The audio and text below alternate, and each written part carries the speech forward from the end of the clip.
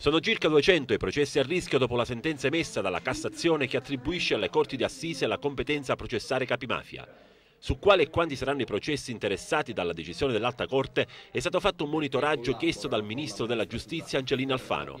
Secondo la Cassazione a processare Boss e Picciotti di Cosa Nostra, imputati di reati pluriaggravati con una previsione di pena di oltre 24 anni, la competenza deve essere trasferita dai tribunali alle corti di assise.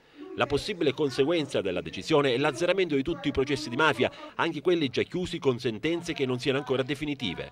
La sentenza, che potrebbe far scatenare un terremoto giudiziario, è stata emessa alcuni giorni fa dalla prima sezione penale della Suprema Corte e riguarda un processo celebrato a Catania contro Attilio Amante e altri otto imputati in cui si erano dichiarati incompetenti sia il Tribunale che la Corte d'Assise.